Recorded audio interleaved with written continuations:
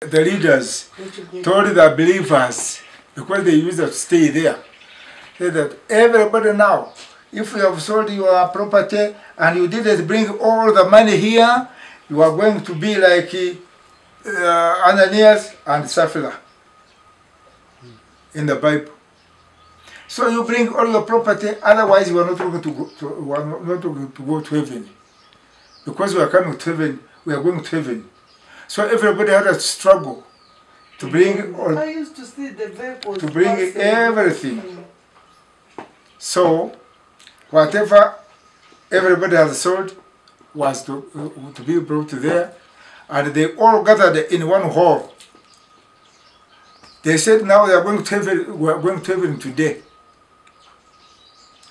Now, time came. They brought a drum of petrol. They they uh, they, they all gave the everybody was given a matchbox. I said, If you want to go to heaven, you have to light a candle and you go to heaven. It takes you to heaven. Everybody was given a matchbox, and then Kibwetere, Credonia, and Kataribabo remained out. Just they gave somebody, they left somebody on the door. So they said, now, clo- uh, uh, uh, everybody, everybody now light your candle. They have to- light a candle, and the petrol had to burn everybody.